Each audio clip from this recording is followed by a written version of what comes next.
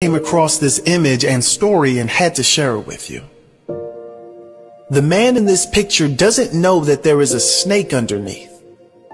The woman doesn't know that there is a stone crushing the man.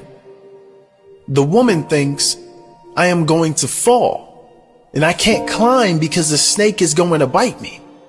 Why can't he use a little more strength and pull me up? The man thinks, I am in so much pain, yet I'm still pulling you as much as I can. Why doesn't she try and climb a little harder? The moral is, you can never see the pressure the other person is under, and the other person can't see the pain you're in. This is life. Whether it's with work, family, feelings, or friends, we should try to understand each other a little more.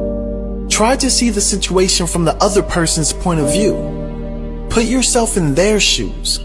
Learn to think differently. Be more open to other perspectives and opinions.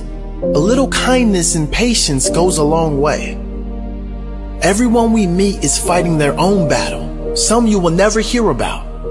You may wish other people would be more understanding and compassionate and helpful to you. So be all those things for other people. Lori Deschene once gave some priceless advice. She said, practice the pause. Pause before assuming. Pause before accusing. And pause whenever you're about to react harshly. You might avoid saying things you'll later regret. Be kind to each other.